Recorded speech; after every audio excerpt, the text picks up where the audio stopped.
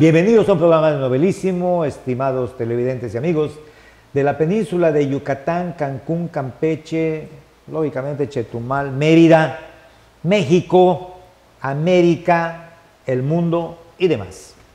Soy Jaime Novelo desde su programa Novelísimo para seguir charlando, platicando, razonando, profundizando, dándome un agasajo sentimental con mi invitada Mari Cobá Cupul. Gracias Mari por haber aceptado este segundo programa. Totalmente un gusto, muy contenta aquí de poder también platicar lo que está aconteciendo en mi vida, en mi camino en estos tiempos. A mí me gustó que en el programa anterior dijiste un compañero del camino. O sea, ustedes lo ven todo como si fuéramos unos compañeros en este camino que es la vida, ¿no? Nosotros vemos, eh, todos somos parte de uno, eh, es un compañero, es un hermano, es una hermana. Para nosotros las personas grandes son nuestros abuelos, son nuestros ancestros, porque ellos son los que nos enseñan, o sea, nos dan la forma de cómo vivir. Entonces, para nosotros todos son compañeros o son hermanos. Muy bien. Me dijiste también, fuera de cámaras, que tienes un centro ceremonial. Sí, eh, de todo este trabajo que he estado haciendo durante mi vida, llegó el momento que pensé que esto tiene que estar en algún lugar. Eh, tengo que dejar como algo cuando ya no esté en este plano terrenal. Entonces estamos trabajando en el santuario Cobá. El santuario Cobá es mi pueblo, es el lugar donde crecí, es en Lázaro Cárdenas, eh, se llama Vicente Guerrero. Allá tengo un espacio donde trabajamos todo lo que es la cosmovisión maya, los rituales, las ceremonias. Entonces estoy muy contenta, muy agradecida con este tiempo, porque tenemos casi ya dos años que abrimos ese espacio pero ha llegado gente a conocernos, a visitarnos de diferentes partes del mundo. Hemos tenido a los hermanos rusos, checoslovacos, americanos eh, y de muchas otras partes de Argentina. Si empiezo a decir, no voy a terminar de decir, pero también muchas partes de México, gente que vive en otros lugares, ha llegado ahí para visitarnos para recibir una sanación, para recibir una ceremonia o lo que se le dice limpias, eh, yo le llamo sanaciones, porque es una sanación ya sea para el cuerpo o ya sea para el espíritu, para el alma, porque así como nos enfermamos del cuerpo, nos curamos con las plantas medicinales, también nos enfermamos del espíritu a través de los malos pensamientos que luego tenemos o a través de los sufrimientos involuntarios que hemos vivido, ya sea con la familia, con ancestral o de otra forma. Pero todo eso se puede sanar. Entonces la gente me busca mucho y más que nada los extranjeros me buscan mucho para este tipo de actividades. Qué bien. Y dicen que les este, que se sienten bien. Entonces, yo creo que lo que dicen es verdad, porque van, se lo cuentan a otra persona y llega más persona, llega más persona. Hoy atiendo gente de diferentes partes del mundo. ¿Y cómo, cómo te contactan? ¿Cómo llegan a ti? A través de una llamada telefónica, a través de un WhatsApp, a través del Facebook, del Internet. La tecnología es una maravilla, pero no es para usarlo mal, porque tal vez otras personas usen el Internet para ver cosas negativas. Yo solo lo utilizo para comunicarme con las personas que están en Japón. Un día llegó una pareja en la puerta de tu casa aquí en Cancún. Cuando tocaron la puerta y salí, una pareja de japoneses que investigaron y llegaron hasta la puerta. A ver, ¿cómo me explico eso? Pues mira, que yo considero que hay coincidencia. De hecho, hay un dicho que dice que nada es casual, que todo es causal. Y cuando analizamos este tipo de conceptos, le vamos encontrando más el por qué se dice así. Todo resulta en una relación causa-efecto.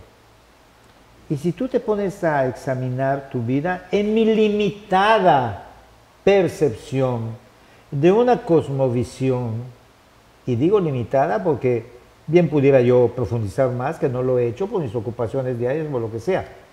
A ti se te da más analizar esa cosmovisión porque fuiste provista de ese talento, como hablamos en el programa anterior.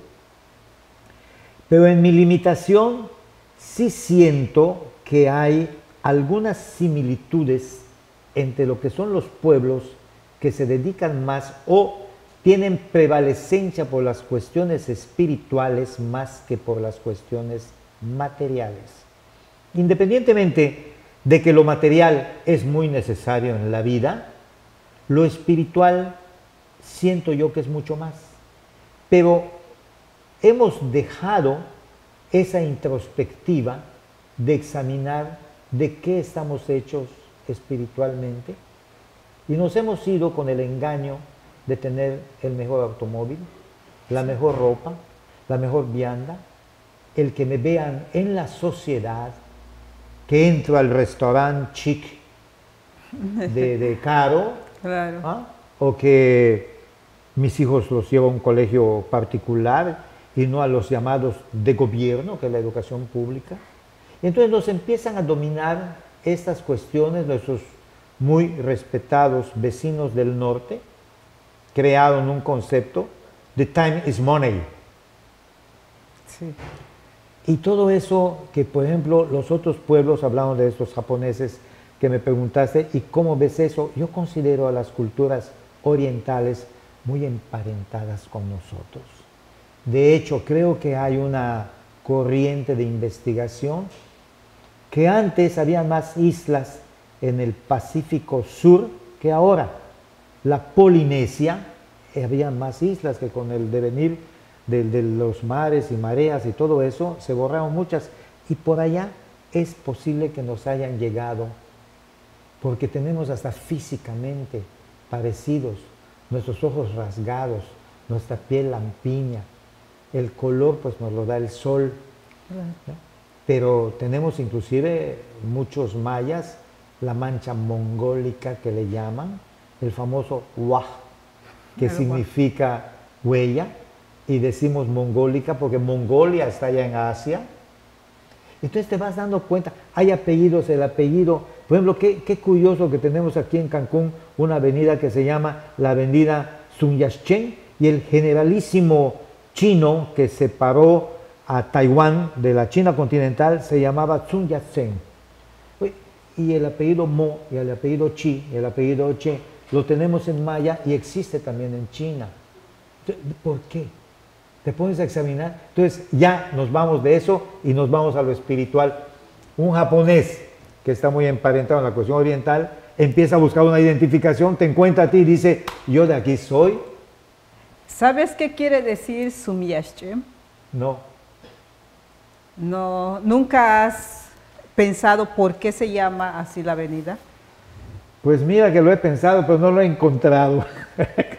es que no se debería pronunciar eh, Sun Seguramente a alguien se le ocurrió y no se le ocurrió, sino por algo le puso ese nombre a la avenida. Porque esa avenida se llama Chun Yashche, el tronco de la ceiba, el centro y esa avenida está en el centro de Cancún. Entonces fue por algo que se le puso Chunyache, el centro, aquí. Mira qué bonito. Yo es, digo, promuevo e insisto en que Cancún no significa nido de víboras. Sería Q, es, nido, ¿no? Q. Q. es nido. Y Can es... Cuatro. Cuatro. Entonces, si fuera nido de víboras, sería Q. Es que si fuera nido de víboras se debería pronunciar Cam. Al revés. Al revés, y no es así. Es, Cancún, Can 4 y Cum recipientes, las cuatro lagunas que tenemos, la Nichupté, la Bojorques, la del Amor y la del Inglés. Son cuatro. Y, tampoco hace ninguna referencia de agua, o sea que nido puede ser muchas cosas. Pero en fin, que cada quien le dé el significado que Yo le, doy el significado de cuatro lagunas. Este, Pero no nos desviemos, Mari. A mí me interesa mucho qué es lo que tú percibes que tus invitados a las ceremonias que tú haces, que tienes una variedad de ceremonias, ¿cuál es la idea? Porque hay muchos que ni siquiera hablan inglés, los rusos, muchos no hablan inglés, pero logran captar lo que tú estás haciendo. En primer lugar, ¿usas el idioma maya? Sí, en las ceremonias, por eso se llama ceremonias mayas, porque los agradecimientos, eh, parte de los rezos se hace en maya. Y para que la gente me pueda entender, entonces se los traduzco al español, o sea, parte español, parte maya. Y a veces cuando son de otras nacionalidades como rusos, pues otra persona también hace la interpretación. Pero lo que siempre decimos también en las ceremonias, aquí solo pónganse atentos y perciban, sientan, porque en otro programa decías eso de cómo es que cómo es que los animales sobreviven y enseñan a su descendencia a sobrevivir, porque solamente nosotros tenemos que armonizarnos con la naturaleza, porque la naturaleza nos enseña cómo debemos comportarnos, cómo debemos sobrevivir. Entonces, solamente que hemos perdido esa esencia, hemos perdido esa sensibilidad de vivir en medio de una naturaleza. Le tenemos miedo a la lluvia, pensamos que nos hace daño cuando los pueblos ancestralmente se bañaban en ciertas épocas que cae la lluvia, había épocas donde se podía bañar y otras no porque sabían cómo y cuándo y para qué servían las lluvias. Entonces la gente todo eso lo ha perdido, nos da miedo tomar agua de, del pozo ahora. Pero allá en el santuario Cobá tenemos un pozo muy especial y yo tomo agua natural que sale del pozo y lo traigo hasta Cancún para estar tomando agua del pozo. Mira, Mira, pues ya terminamos esta primera parte de este segundo programa, Mari. Y en la segunda parte y última te voy a preguntar algo que tampoco quiero que se me vaya. Regresamos. Las cosas que queremos. Los proyectos que empiezan. Las ilusiones concretadas necesitan una asesoría legal y una base concreta. Notaría 64. Respaldamos tus actos legalmente.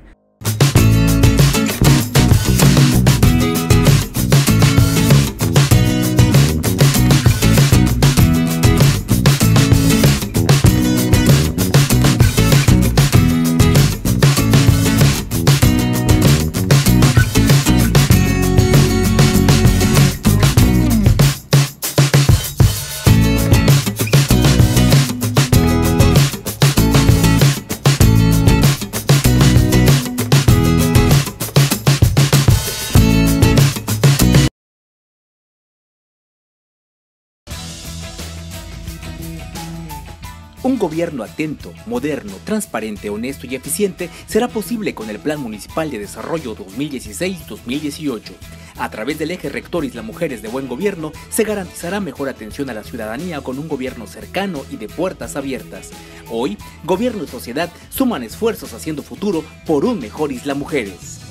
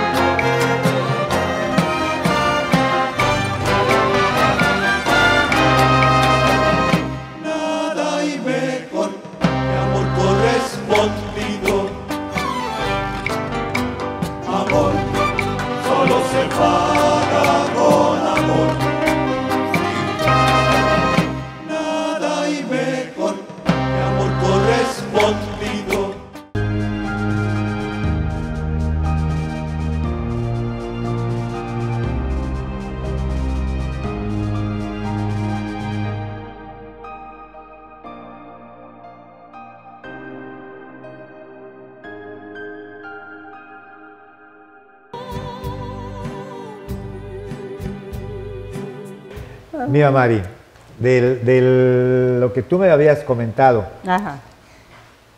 el número 13 es un número muy especial en el mundo maya.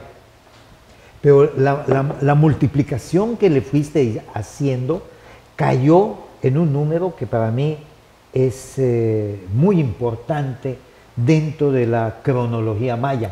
Explícame y explícanos cómo es que va de 13 en 13 este tema.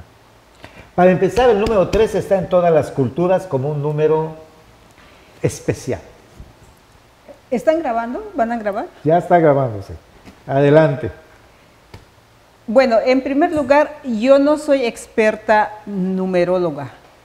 Solamente puedo hablar un poco a cómo yo entiendo el número, a cómo entiendo el calendario y también nosotros ancestralmente se ha usado una geometría sagrada.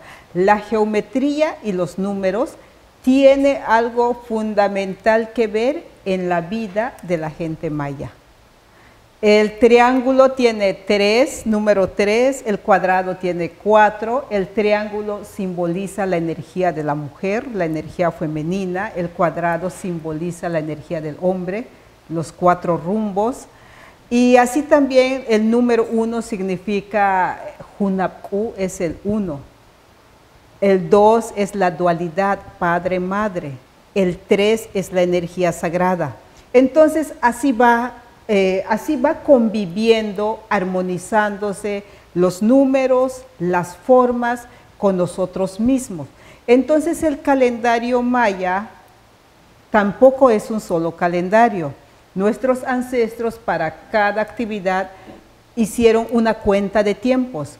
Esa cuenta de tiempos es para llevar las cuentas por ejemplo, eh, cada cuándo tienen que sembrar el maíz, cada cuándo tienen que sembrar este, las otras semillas, cada cuándo tienen que hacer sus rituales, sus ceremonias. El calendario Shokin o Tzolkin, hoy en día hay una polémica de que no se dice Tzolkin, que no, bueno, Shokin. Shokin, allí no, no vamos a fallar porque quiere decir cuenta de los días. Cualquier calendario se le puede decir Shokin porque es una forma de que contaron los días. Entonces el Shokin es el calendario que tiene que ver con el nacimiento. Ese, Es el religioso, el calendario religioso. no, es el Hab. El calendario El Hab religioso es el natural, el es el Hab. 360 Tiene más 5 días asiagos. 360 días más 5 días, que es De el Guayeb. Son los 365 días. Exactamente. El, el es el que tiene 260 días, que tiene que ver con el tiempo de gestación de un bebé. Entonces es el que se maneja para muchas cosas que tiene que ver con el cuerpo humano, con la sanación. Entonces ahí es también donde se toma en cuenta de cuándo hay que hacer los rituales para las personas. Desde que una persona nace, ya es un ritual, el ritual del nacimiento. Entonces, eh, los niños cuando nacen se les hace un ritual de presentación o también se le llama Hetzmek. Los niños se les hace a los 80 días, que son los cuatro meses del calendario Shokin o Tzolkin. Entonces, hablábamos de la geometría sagrada, entonces a los cuatro meses, ¿y cuántos puntos tiene el cuadrado? Cuatro puntos. ¿Y qué quiere decir el cuadrado en la cosmovisión maya? Es el campo energético del hombre, es la milpa. La milpa, puedes, aquí puede ser una milpa, es donde estamos trabajando, es tu campo energético donde estás trabajando. Eso es una milpa, no solamente porque ahí sembraba algo, sino que el lugar donde trabajas es tu milpa. Entonces, ese es el ritual que se hace para los niños. Y para las niñas, el ritual se hace a los 60 días, que serían los tres meses del calendario Shokin o Tzolkin. Y esos, eh, esos tres meses simboliza tres puntos. ¿Y cuántos puntos tiene el triángulo? Tres. ¿Y de qué forma se pone las tres piedras del fogón? Las tres piedras del fogón es un triángulo. ¿Y qué va dentro del fogón? El fuego sagrado. El fuego sagrado es de la mujer, es de la abuela, es de la mamá, es de la nieta. Entonces, ¿y quién ¿Y quién cuida el fuego sagrado? La abuela, la mamá. ¿Para qué sirve? Para alimentar a toda la familia. Y la creencia es que debe de haber el fuego sagrado para cocinar el alimento, porque ese alimento no solo va a nutrir tu cuerpo, va a nutrir también tu espíritu, para que todo eso tiene que verse de esa manera. Entonces, y ahí les puedo hablar un poco más, pero es mucho, es mucho este, porque allá en la comunidad, en el santuario, esta plática yo lo hago, pero con los objetos. O sea que les voy mostrando, esto es por esto y esto es por lo otro, y tiene una justificación, todo tiene una justificación. Al, esto al cambiarlo, todo cambió. Si nosotros cambiamos toda esa forma, que es lo que ha pasado en las ciudades, que ya no hay esas formas, entonces cada quien come a la hora que quiere, vive donde quiere, y ya la gente no tiene comunicación entre uno, ahora solo por WhatsApp este, nos hablamos para saber si estamos bien, si comimos o no comimos. Entonces todo eso, al mover un, es como el el ajedrez, por ejemplo, en otras culturas, al desaparecer una pieza ya no puedes hacer el fuego. Es así también la cultura, la tradición, tiene que estar los elementos. Todos los elementos son necesarios, importantes dentro de, para que exista esa armonía que necesitamos. Esa es la forma que explico el número, que explico este, la geometría, entonces el calendario Tzolk'in es la frecuencia 1320. Son 13, 13 winales por 20 días.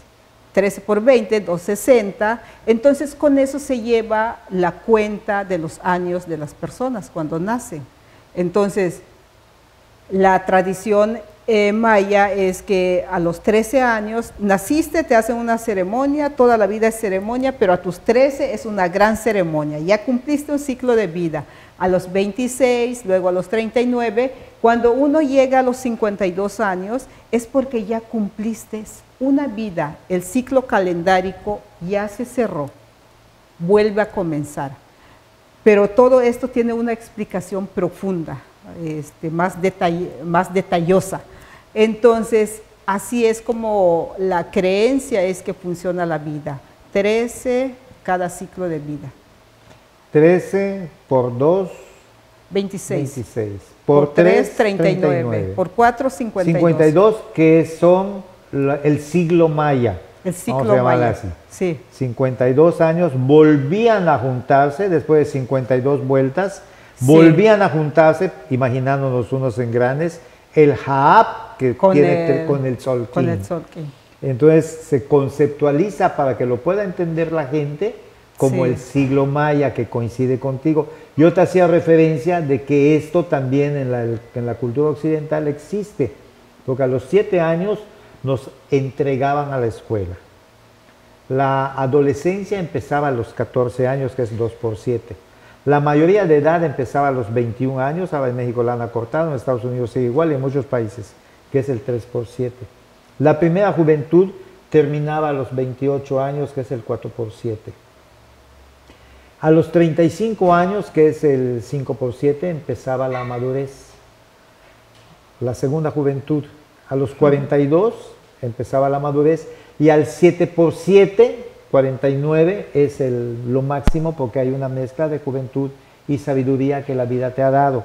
O sea, lo mismo que tú estás manifestando bajo una óptica maya también existía y no dudo que exista en otros espacios culturales, no lo dudo.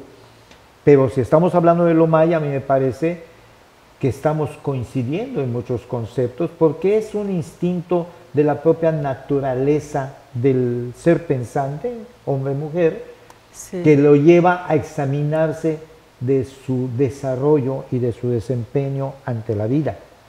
Y es así como tú vas ubicándote y vas conociendo.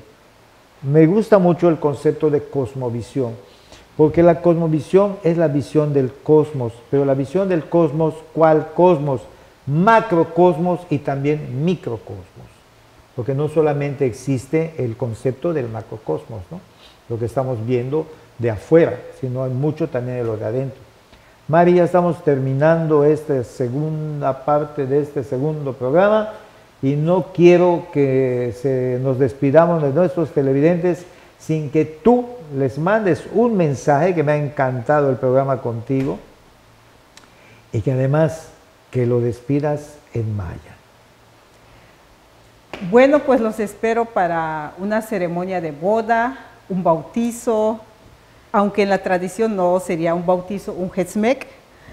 Eh, se los comento de esa manera. el cargado de lado. Eh, para que se entienda. O, los espero para una sanación.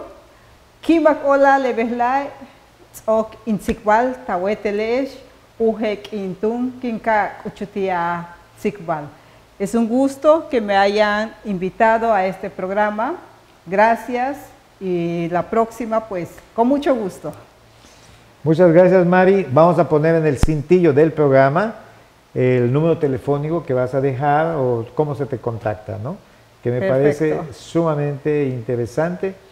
Y espero en otra ocasión poder volver a platicar contigo, porque mientras me estás hablando, me viene un mundo de cosas a la cabeza que por la brevedad del programa no puedo desarrollar contigo, afortunadamente, para que nos, para que nos quede para el siguiente programa. ¿no?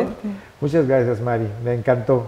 Muchas gracias, hasta luego. Ujekim. Y a ustedes, mis estimados televidentes y amigos, muchas gracias nuevamente por la preferencia y su atención. Hasta la próxima.